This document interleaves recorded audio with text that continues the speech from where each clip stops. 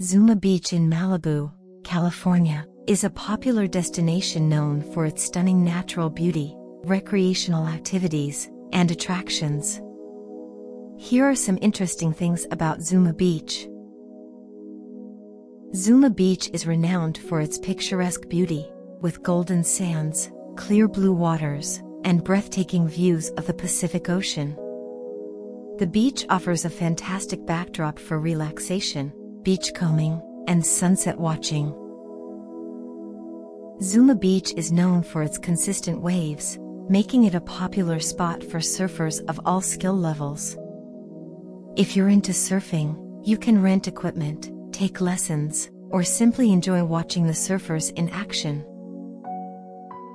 The beach is generally safe for swimming, but it's essential to be cautious and mindful of the ocean conditions. There are lifeguards stationed on the beach to help ensure visitors' safety. Zuma Beach has designated picnic and barbecue areas, making it a great place for a family outing or a relaxing beachside meal. There are also some food vendors along the beach. If you're interested in hiking, the Zuma Canyon Trail is located near the beach. This trail takes you through beautiful coastal landscapes, canyons, and provides stunning views of the ocean. The underwater environment at Zuma Beach is rich in marine life, making it a decent spot for diving and snorkeling. You might get a chance to see colorful fish, kelp forests, and even some underwater rock formations.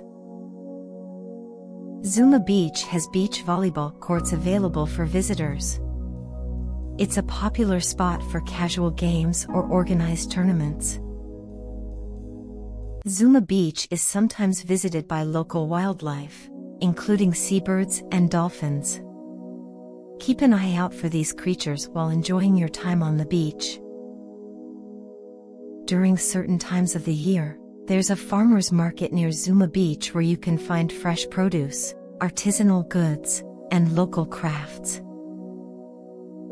Malibu, including Zuma Beach, has been used as a filming location for numerous movies, TV shows, and commercials due to its picturesque setting.